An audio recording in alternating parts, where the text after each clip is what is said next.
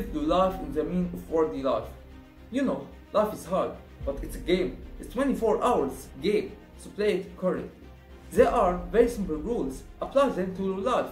Start every day with a little and make every day better than the day before.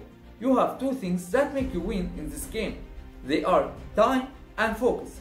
The time, you have 24 hours in a day. You can do a lot of things in this time. So ask yourself, what do I do in this time? When you want to sleep, ask yourself, what did I do in the whole day? The focus, look at where you put it.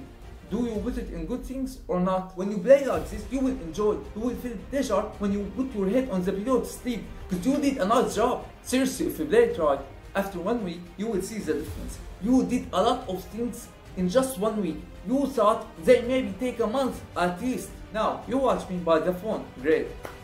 That means you have a phone in your hands. Whatever the phone is, it still work, it still connect with the network. Uh, several years ago, the presidents didn't have a mobile phone, so you're better than them. You have more lucky than them.